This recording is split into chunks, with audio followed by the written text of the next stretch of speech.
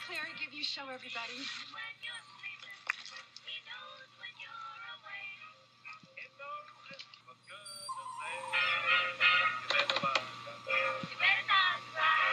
Come down here so I can see you better.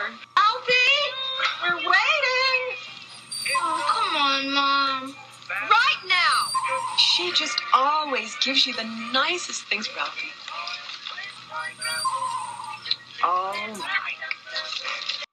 Isn't that sweet?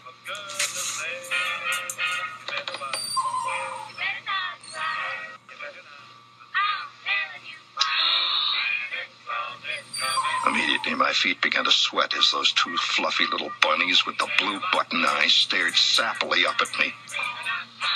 Oh, isn't that cute? That is the most precious thing I've ever seen in my life. You look like a deranged Easter bunny. He doesn't. He does too. He looks like a pink nightmare. Are you happy wearing that? Do you want to take it off?